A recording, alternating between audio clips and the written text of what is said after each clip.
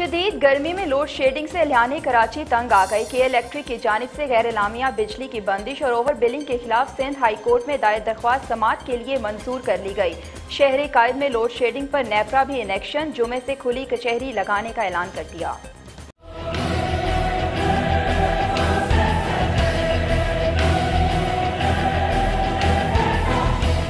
Electric की गैर एलानिया load shedding से तंग अवाम अदालत पहुँच गई। लोड शेडिंग और ओवर बिलिंग के खिलाफ सिंध हाई कोर्ट में दरख्वास्त दायर कर दी। सिंध हाई कोर्ट ने फौरी समात की इस्तः मंजूर कर ली। जस्टिस खादिम हुसैन शेख की सरबराही में दो रुकनी बेंच दरख्वास्त की समात करेगा। दरख्वास्त गुजार ने मौकफ अपनाया है की कराची में गैर एलानिया लोड शेडिंग की जा रही है।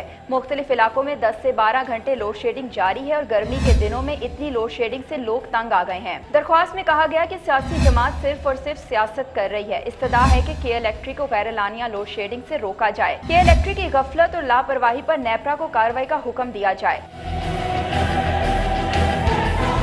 दूसरी जानब नेपरा ने कराची में गैर लानिया लोड शेडिंग पर जुमे को खुली कचहरी लगाने का ऐलान किया। नेपरा हुकाम के मुताबिक कोरोना वबा के सबब कचहरी में शिरकत करने वाले जूम लिंक पर भी आ सकते हैं। इसके अलावा नेपरा की वेबसाइट पर भी दिए गए नंबर पर कॉल करके शिरकत की जा सकती है। या शहरी नेपरा के ईमेल पर भी शिकायत कर सकते हैं।